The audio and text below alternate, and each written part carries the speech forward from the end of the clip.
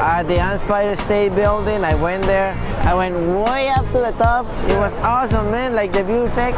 And then I was a little bit scared because I didn't want to fall down. It's great. It's been great. A lot of interviews, a lot of cameras. I feel like like a movie star. Mario, just your thoughts on Manhattan being in New York for the first time. oh my God! Look, this is great. What are your thoughts about maybe being the first jockey since 1979 to win it? 78. Uh, well, like I say, like I, I'm not really thinking about Triple Crown right now. It's huge. You can see everything. Okay. Whew, that was awesome. We're gonna go eat pizza, right? Yeah, thin crust pizza. Oh, the Tinker's pizza. Then uh, I don't know. Just got to know the city a little bit more.